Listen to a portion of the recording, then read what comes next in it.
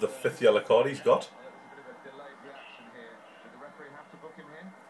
Nah, it's definitely fucking broke, like.